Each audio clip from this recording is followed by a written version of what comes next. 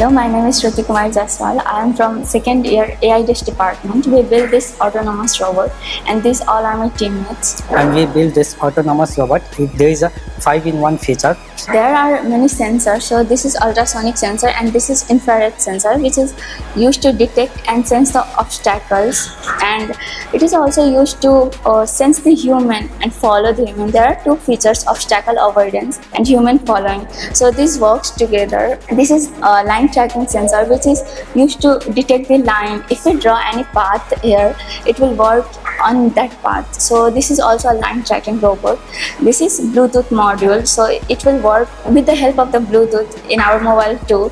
And this is a receiver so which is controlled by the remote so we can control this robot through the remote module too So we can use in various ways like in agriculture area. We can identify the crop that is. After identifying, we can use the solution.